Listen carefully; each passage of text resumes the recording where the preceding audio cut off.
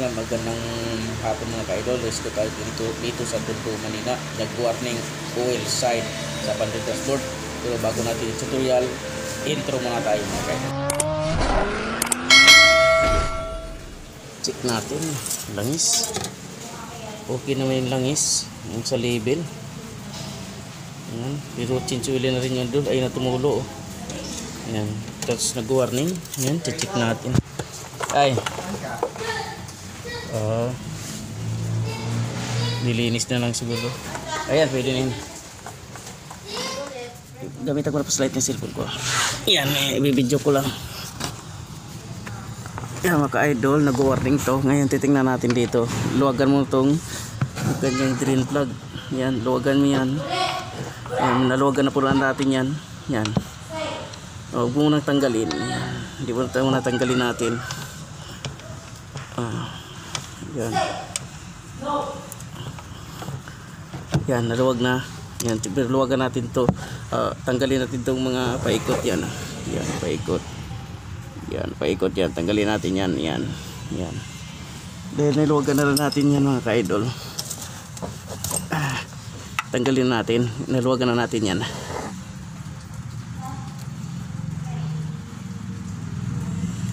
Yan. Yan, luwagan na natin. Yan, tanggalan natin lahat. Yan, ah, tanggal na lahat. Yan, ah.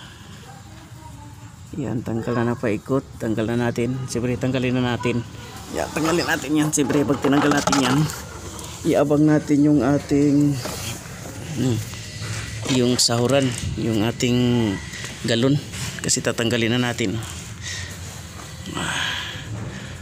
Oops, yan. Sobrang ah, medyo maitim na talaga mga ka-idol. Yan. Hintay lang natin yan. Tapos pag natanggal na to, ah, naubos na yung laman, dito ka, dito ka naman magsilsil mga idol dito. Dito natin silsilin, pabuka para matanggal natin tong oil pad. Yan. Hintay lang natin yan. Ayan. O, wala nang tagas. Yan. Dito, tutuklapin na natin. Pasilsil ko na to mga idol. Yan. Tutuklapin natin. Titingnan natin kung talagang sobrang dumi yung strainer niya. Yun yun o. Ah, oops, ah, kaya natin. Ah. Alo, sana wala sang tama kasi umingay na daw to. Kwento ng may-ari. Agoy, madumi. Agoy, madumi. Alo. Oh. Grabe dumi. Yung titingnan natin yung strainer. Uy. Kubarado talaga strainer. Barado. Yung strainer niya, barado. Tanggalin natin to. Yan, tanggalin natin to. Pati to. Yan. Tingnan natin. Yan mga ka-idol. Kita mo ka-idol. Punong-puno na sa loob oh. Yan, itak-tak natin natin mga ka-idol. Para makita nyo.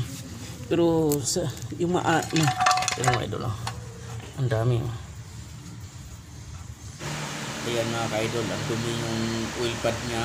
Pati strainer niya. Ang dumi. Kaya linisin natin yan mga ka-idol. Para ma-okay na.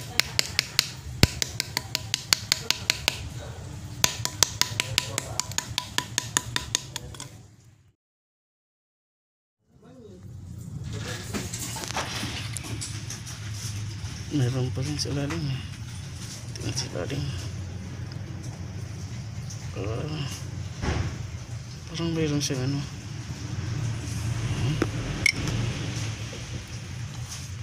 Dami ah. Dami nakuha ah.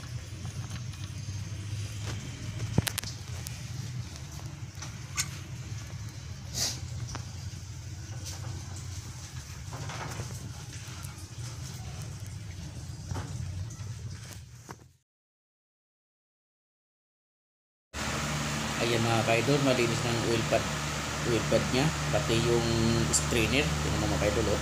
Tinagin, pati sa loob, linis na linis talaga. Yan, to, titingnan yung oil pad niya oh. Yan, yung oil pad niya, pati sa likod. Yan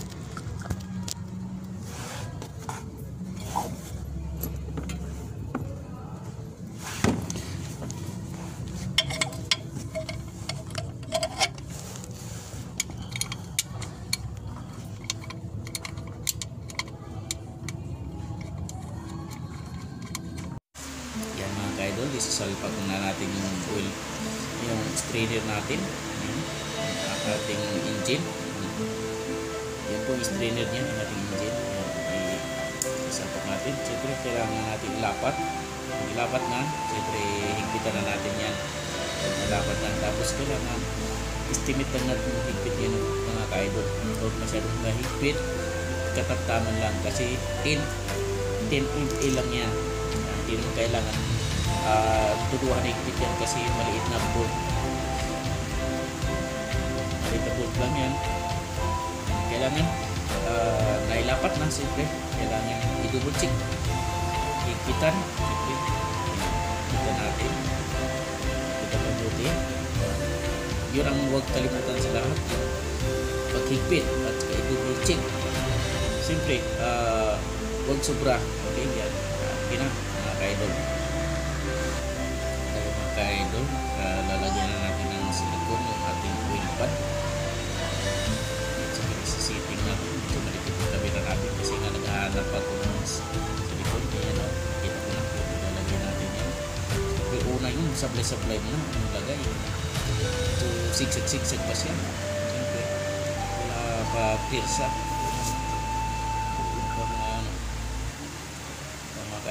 Paikot na siya. Yan. Paikot. Kasi siya na mga ka-idol, medyo hindi natin na itutok sa ginawa ngayon. Siyempre, natutok na natin yan. Kaya doon siya gumanda. Kulang lang pala sa kamera. Yan, mga ka-idol. Mga ka-idol, hindi ko na napakita sa inyo kung paano ko nilagyan silikon. Kinabit ko na lang. Ayan mga ka-idol na pa-start na natin. Hindi ko na rin napakita kung paano ko nilagyan ng langis. Siyempre, alam nyo na naman paglagay ng langis. Ayan, pagkatapos natin mag-cleaning, maggawa ng oil, oil pot, saka strainer. Yan, pina-under na natin. Kaya po, oh, ang ganda. Ganda ng under. Na-recover natin yung makina. Yun, na hindi siya tumatok. Naagapan agad. Maraming salamat. God bless. Maraming salamat sa panonood. Huwag kalimutan i-subscribe ang YouTube channel at i-follow ang aking Facebook page, Sakit Righteous Vlog. Maraming salamat. Ingat mga ka-idol. Next vlog, abangan nyo ang ating mga videos. Bye-bye mga ka-idol. Sa ulit.